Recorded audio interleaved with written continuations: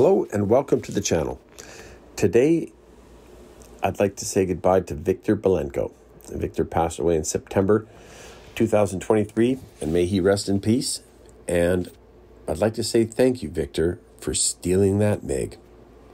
You see, back in 1976, Viktor was one of the most spectacular, well, actually, he was the most spectacular defector, apart from some Olympic people, but Viktor stole a brand new MiG 25 jet and flew it to Japan from Vladivostok, Russia. Viktor was a young Air Force officer. In 76, he was 29 years old and he had been trained to fly fighter jets. During August and September of 1976, he was transitioning to the, the new MiG 25 Super Interceptor. This was Russia's fastest plane. I think it still is Russia's fastest plane. This is one of the most spectacular aircraft of the time that was produced.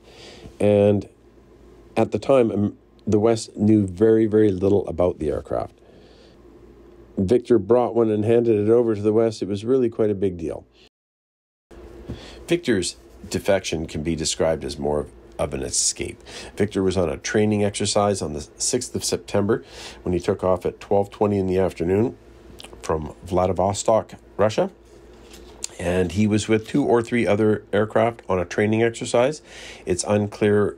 Um, I I find many different reports on all this stuff. I read as many as I can, and there's often discrepancies. And it's one of the things that kind of makes research interesting. But one report says he was with two planes, the other report says he's he was with three. When Russian aircraft arrive in their training areas, they do a 360 clearing turn before they begin any of their exercises, probably for safety. Sounds like a good idea. Viktor did his 360 and then he pushed that aircraft down to the ground and he screamed along to the coast and he got the heck out of Russia. He was right down on the water and he threw a couple of switches there. He made an emergency beacon go off and he made it look like he crashed. And he turned off all his radios shortly after and he screamed along very low to the water um, below any radar capabilities. The aircraft burns an awful lot of fuel down there, as do most jets. And after a little while, he knew he had to climb up to altitude to save fuel, and so he'd have some range and get to Japan. So he went up to 19,000 feet and started cruising along. At that point, he triggered the radar of Japan's defense radar, and Japan knew something was coming, and they scrambled two F 4 Phantoms to intercept him. This is actually what Viktor wanted to have happen because Japan was obscured by cloud, as it often is, and you can't see airports when you're up in the sky and the clouds obscure the ground. So, how would you land a jet? He really wanted to be intercepted and led to the airport. But that didn't happen, and he had he was keeping track of time, so he knew when he would cross the coast. So before he did that, he dived it back down to the water, and he got under three thousand feet below the clouds, and he was screaming along, and he hit the coast, and he turned right. He went south. Well, not too much longer after that, he bumped into a civilian airport at Hakodate. Hakodate is on the northern island of Hokkaido, Japan. I hope I pronounced that properly. Here's where the reports are different again. There was a civilian airliner taking off. It was a Boeing 727, and it took off and left the area. The first report, uh, well, one report I read said that he sort of went around that airplane and landed on the runway, was going way too fast and went off the end of the runway. Another report says that he did a circle over the city and came back around to land and was nowhere near the Boeing that was taking off. Another report said that he did two circles over the city and then came in and land. So I think the circling of the city is true for sure because there's two really great photographs of him flying um, over the city, and the, the, this is the actual photograph right here. This is, and and it really looks like he was low. One thing for sure, here's there's two photographs. One thing for sure is that this would have been the loudest thing that anybody would have ever heard at this little town of Hadako. Um, military aircraft are extremely loud, and this thing was the loudest of them all. It had two massive jet engines, and I'm sure they were making just hordes of noise as this thing was circling around and coming into land. Viktor said he touched down at about 220 knots, and that wasn't enough to get the jet stopped on the runway. The runway was not long enough. He did deploy his parachute, but he did roll off the end of the runway at some speed, went a couple of hundred meters past the runway, through the mud, mowed over a couple of antennas that were um, antennas that are for the runway's uh, instrument approach system. But then the aircraft came skidding to a stop, and of all things, there was a construction crew there that was in um, a civic work works project of extending the runway. pretty much all airports were getting extended through the 70s as jet aircraft were taking over, and jets need uh, more room. Viktor opened his canopy and he stood up, and of all things, he brandished a pistol and fired off two shots in the air.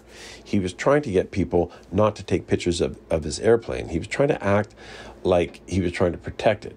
He told people later in an interview that that was all an act, that he was worried that the Japanese officials might send him back to Japan, and he wanted to make it look like he was protecting the airplane, that everything was an accident, and he was really just a good Soviet young pilot.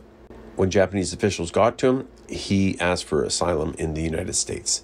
They didn't really know what to do with him, so they took him to a police department nearby and they interrogated him for a while or talked to him or fed him or whatever they did. I'm sure language was a bit of a problem.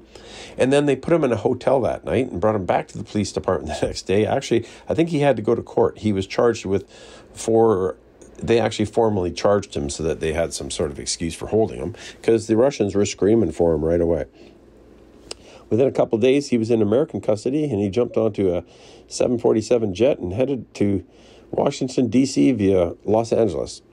There's some pretty great, footage of him being put on the airplane, and it sure looks like he got a fancy suit from his American handlers. Meanwhile, back at the airport, the airplane, they had to move it off the mud and get it over towards the terminal. And they discovered that the front wheels both the tires were, were shot. He had, he'd wrecked them on bringing them in.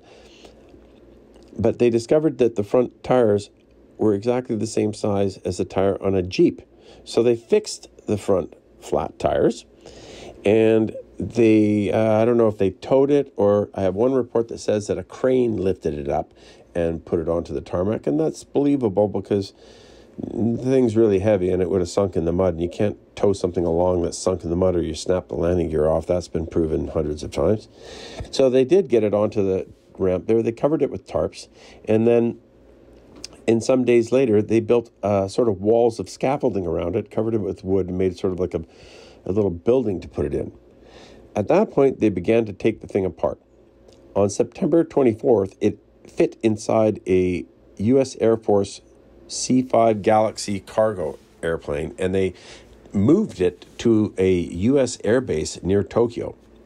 At that point, the whole thing went inside a hangar and nobody saw it again until it was inside of crates.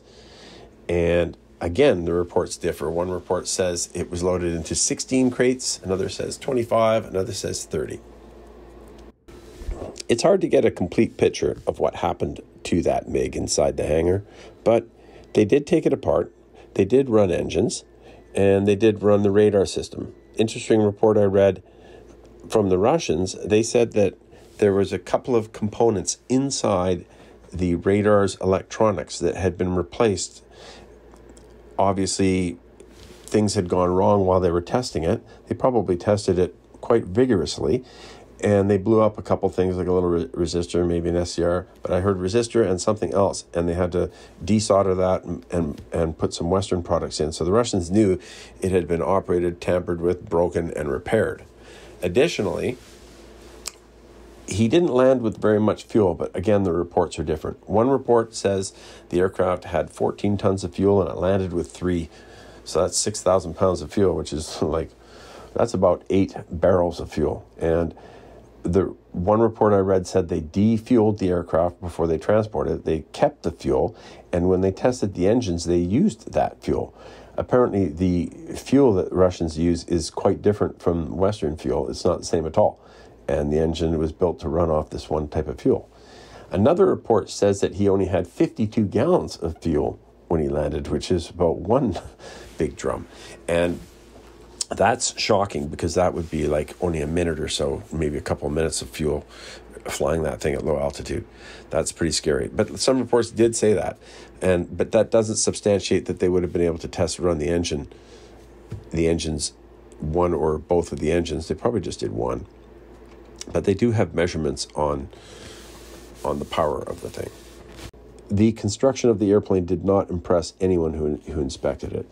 It's sort of a rude construction. There were, it's made of steel. There's titanium on the leading edges of the wings, but most of the rest of the airplane is completely steel. There's weld. There's a lot of welding, and some of the welds weren't even like on the exterior of the airplane. They weren't even ground down flush. They, if it wasn't in a high pressure zone, it wasn't really cared for. Very different from Western high performance jets that are completely flush, riveted, and very well made.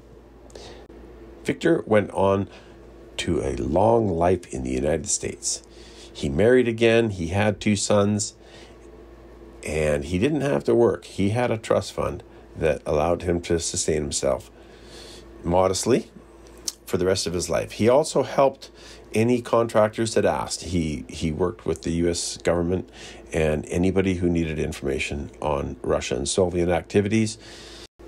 As the years passed, that probably wasn't all that important again, and and a great little side note to the story is that after the Soviet Union fell apart in 19 in the early 1990s, he actually traveled to Russia in 1995 and he visited and had no problems and he I don't know what he did there, but he visited it. Maybe he wanted to see relatives. I don't know. But he was there and he was allowed to leave. he came back and he passed away in America on September 24th of 23. And hope you rest in peace, Viktor. That's very interesting life you must have had. So, what happened to the jet? Well, all the crates were taken by road down to a port and put on a freighter. A Russian freighter came and picked up all the crates. They got a little inspection before they left, and away they went. And the aircraft went back to Russia. There's a few reports, and now we're looking at the Russian reports. The aircraft was never flown again. It was taken to a school, it was reassembled, and they discovered all the pieces of it that was missing. They said there was about 20 pieces missing. They all they discovered the repaired radar pieces and they knew the engines had been run. They were really quite miffed. They decided never to fly the plane. They had it at a school and they were using it for training, ground training, or whatever they were doing.